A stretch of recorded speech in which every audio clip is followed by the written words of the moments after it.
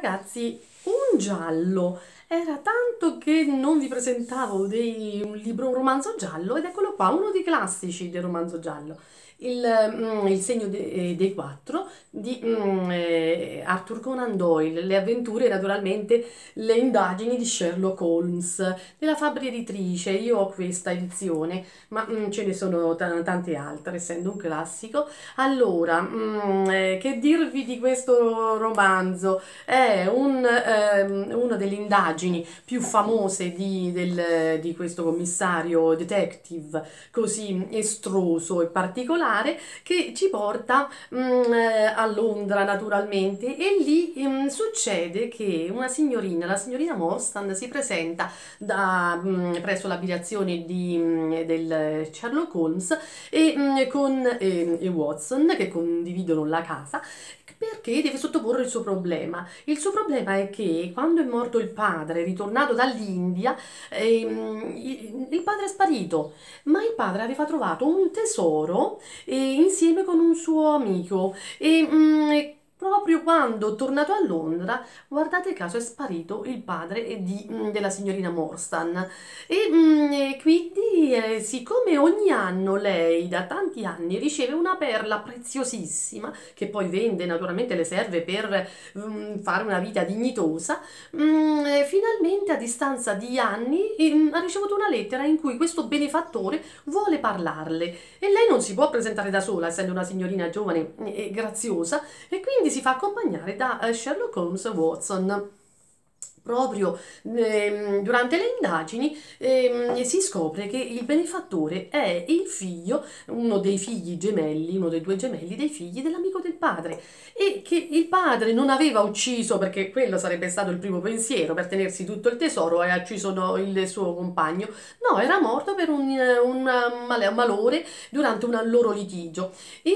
ehm, in realtà i due figli hanno ritrovato poi alla morte del padre, hanno ritrovato il tesoro e hanno deciso, il padre aveva chiesto di lasciare una parte alla signorina Morstan, ma il fratello Bartolomeo, molto più egoista mm, eh, di mm, Sholto, decide di eh, tenerselo per sé e mandare solo questa perla ogni anno. E, e però adesso mm, è il momento in cui mm, eh, vogliono chiarire tutto, Sholto vuole chiamire, chiama, eh, chiarire tutto e, e quindi mm, spiega la situazione alla signorina Morstan e al detective Sherlock Holmes e a è Watson che ascolta e naturalmente eh, eh, elementare Watson, tutto quello che è facilissimo per Sherlock Holmes, per, per, eh, per Watson non lo è, ah, pur essendo lui un medico, quindi una persona di cultura, ma um, Sherlock Holmes riesce a trovare degli agganci, degli um, indizi dovunque, quando invece una persona normale non ce la fa. E poi avendo anche una cultura, um, naturalmente in questo senso, il logico è avvantaggiato. E quindi ehm, alla fine si arriva al punto che vanno a trovare il fratello Bartolomeo nella sua casa e lo trovano morto. A che arriva a Scotland Yard, fa le, le prime indagini del caso e mettono in carcere proprio il fratello e il, il, il, domestico di casa, ma in realtà Sherlock Holmes ha già capito che non c'entra niente il fratello. Hanno trovato il corpo di, del fratello di Sholton dentro, mm, dentro la sua stanza, chiuso a chiave da dentro. Quindi qualcuno deve essere penetrato all'interno e si è portato via il tesoro. Quindi Adesso io sono arrivata a questo punto qua, il povero, eh, cioè beh, povero, il, il, povero fratello sta in carcere e mm, Watson e Sherlock Holmes vanno a cercare il tesoro e naturalmente l'assassinio, eh, gli assassini veri di, mm, eh, di mm,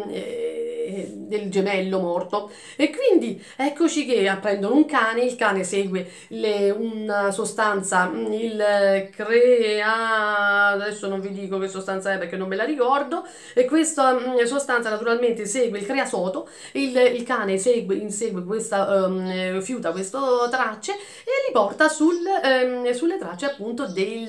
del, degli assassini. E quindi um, sicuramente io so che le, le indagini di Sherlock Holmes vanno sempre a buon fine. E poi tra l'altro tra la signorina Morstan e Watson nasce un sentimento che alla fine del libro mm, eh, so perché sono andata a curiosare so